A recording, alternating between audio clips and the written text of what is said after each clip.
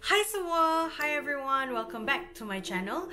So yes, hari ni kita nak buat lain sikit. Bukan nak cerita-cerita uh, pengalaman uh, bertemu uh, entity paranormal. Tapi kita just nak buat top 5 filem seram Yang dekat di hati. Maksudnya yang memberi impact yang sangat besar dalam hidup I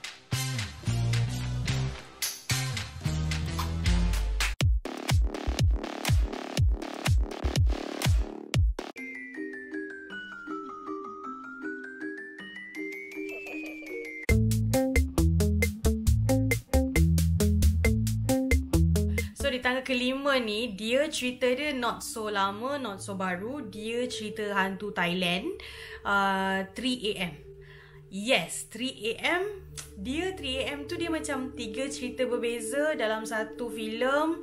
Kisah tak berkait pun Tapi yang sama is dia benda-benda tu kejadian tu berlaku pada jam 3 pagi. 3am ni dia ada tiga filem. Tapi I suka I suka sangat yang beri kesan tu uh, 3am 1 Lepas tu 3am 2 Yang 3am 3 tu I tak suka sangat lah.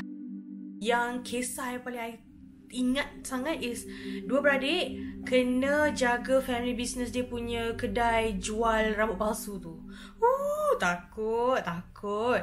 I kalau pergi kedai potong rambut, I akan bawa balik tau. Bila dah tengok cerita tu, I macam lega kenapa I selalu bawa balik rambut. Sebab I tak nak nanti kan tiba-tiba rambut I dijadikan rambut palsu. Lepas tu jadi hal pula, tiba-tiba dah hantu pula dia tahyul lah. Tapi kadang-kadang otak I suka macam ah, Kan aku mati tak tenang lah Jadi hantu rambut palsu lah So yang kisah sisters jaga uh, kedai rambut palsu tu memang I takut. And I sampai sekarang Seumur hidup I tak pernah beli wig uh, Yang human hair. Never.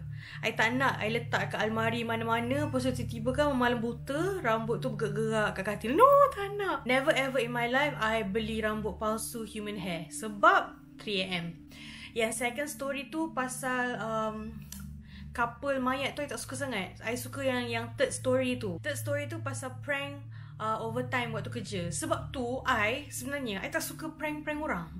I tak suka prank orang and I tak suka bila kena prank sebab benda ni as much as orang rasa dia jadi funny, dia boleh jadi deadly. So I tu prank-prank-prank rupanya yang aku prank tu hantu. Ah, kuasa. Tak mau, tak mau. Yang 2am part tu yang lain yang tak kisah sangat. Tapi yang uh, 3am part tu tak memang takut Scene um, Yang story nombor 2 tu Yang Headless Nun tu. Memang I tak tahu lah I ada masalah dengan uh, Scene-scene cerita hantu Budak-budak asrama Scene-scene cerita hantu Budak-budak sekolah Ada abandoned building Ada pula Nun tak ada kepala Duduk dalam tu main piano. Eh kuasa Tak nak okay. Filem di tangga keempat ni Dia tak Dia tak Cerita ni tak scary sangat. Okay, I tengok It yang lama dulu Masa saya kecil I tak ingat lah how old was I Tapi memang waktu tu I sangat I sangat belum matang lah So bagi I Budak You duduk tengok cerita It tu Pennywise tu scary sepatutnya badut ni macam ya kadang-kadang kita pergi-pergi party kawan-kawan ada ada badut yang buat-buat balloon jadi poodle tu. Kita nak sebenarnya balloon poodle tu. Tapi sebab bila I tengok badut every time I tengok badut I teringat Pennywise. Saya memang takut dengan clown. Filem It yang lama memang buat I sangat takut dengan clown. And I sangat takut dengan uh, lubang-lubang yang kat longkang tu. I memang ada fear yang macam mampus ni kalau tak tengok jalan jatuh bawah tu habis. Pennywise tangkap aku. Habis. Bila dah besar Bila dah besar Yang diorang buat balik Remake film It Tu I pergi tengok balik. So I macam Face your fear. Tengok tak apa. It's just makeup effect je. Tak. Maybe sebab I dah memang Membesar dengan Rasa agak takut Dekat Pennywise. So bila I tengok yang baru pun macam Hello. Dah besar-besar pun Aku tetap rasa macam Okay, uh, filem nombor tiga yang I sangat takut ialah Evil Dead. Okay, uh, Evil Dead ni dia nombor tiga sebab Okay, first time I tengok uh, ni VCD time ni, I tengok VCD Evil Dead. Um, Mas tu I tidur rumah cousin I. My late grandfather ada kebun. So, adalah rumah kat situ. So, keliling rumah kita orang tu memang pokok-pokok. Kata pun kebun kan. So, okay. So, masa time tu, uncle I, the whole family duduk situ. So, I pun sleep over. So, diorang macam, ha, nak tengok cerita tu tak? Nak tengok cerita tu tak? Okay, tengok je lah cerita. So, diorang pasang lah Evil Dead. I tak habis pun tengok. Sebab, suasana tu, faham tak? Okay, Evil Dead tu, dia cerita hantu ya okey lah baca-baca mantra semua semua normal lah normal. Typical baca mantra you woke something up ada hantu. Tapi setting dia rumah dalam hutan. I pula time tu dalam rumah Tapi tak adalah hutan Tapi keliling dia pokok-pokok. Tu macam Allah aku dalam rumah Evil Dead ke? Time tu I rasa macam tu. Ah Lepas tu masa around 2013 Dia ada remake kan? So I pergi I pergi dengan adik I uh, I pergi dengan adik I Pergi tengok wayang filem Evil Dead tu yang baru. Kenapa I ada mindset yang I tak prefer nak menginap dekat camping, camping dalam hutan ke, glamping ke, whatever that has to do with a cabin or camping dekat dalam hutan atau tempat yang berpokok-pokok, I tak rasa nak pergi ke tempat-tempat macam tu because of Evil Dead. Di tangga kedua, Ya Allah, Ya Rabbi, Ya Rasul. I tak tahulah kalau ada orang yang rasa filem ni dia meh, tak ada apa. Tapi I Exorcist adalah benchmark Bukan benchmark Dia macam the whole idea yang I ada Bila ada orang cakap pasal Kerasukan You know Bila orang cakap pasal possession je I macam Reagan Okay memang orang cakap iconic scene is Yang masa dia pusing kepala tu Betul Itu memang cukup scary lah Itu bodoh lah Kalau I cakap benda tak scary langsung Tapi ada satu scene dia buka um, laci tu tau. Lepas tu priest tu suruh dia buka buat lagi sekali. Lepas tu dia jawab in time.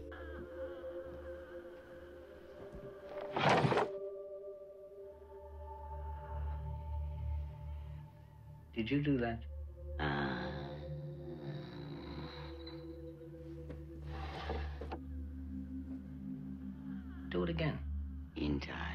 Time. No, now. In time. In time. Oh, takut. Sebab benda tu macam cunning. Lepas tu, yang I lagi paling takut masa dia turun staircase yang terbalik tu. Eh, nak mati ke Turun. Oh, lepas tu, darah keluar daripada mulut dia.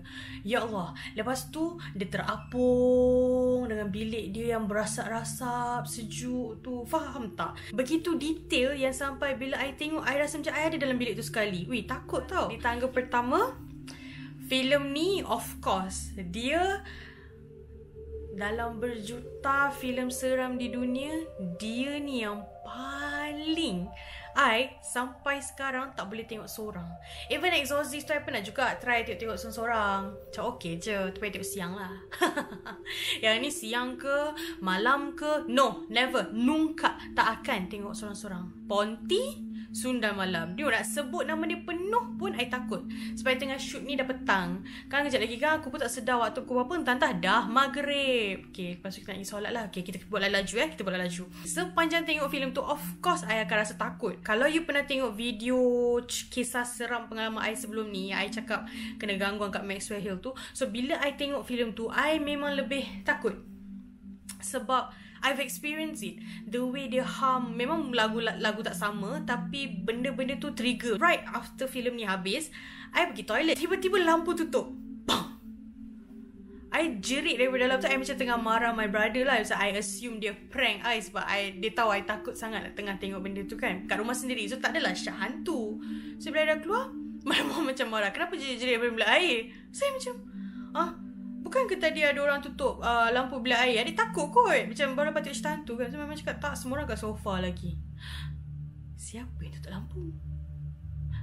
Ha.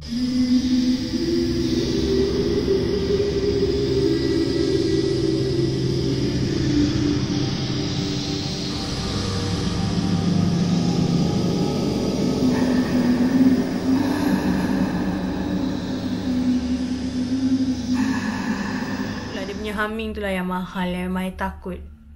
Sebab I've heard something similar.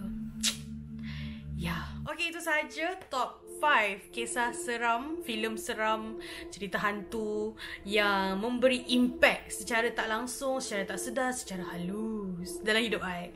So, kalau korang suka konten macam ni and korang rasa I should do more on top 5 punya content, so it could be anything. Korang just leave komen kat bawah nak top 5 apa, top 5 makeup ke, top 5 pelakon ke, top 5 apa-apa, apa-apa. So, yeah, jangan lupa like, share, komen and jangan lupa subscribe. Subscribe lah. Bila subscribe lagi happy nak buat video. Bye. Assalamualaikum.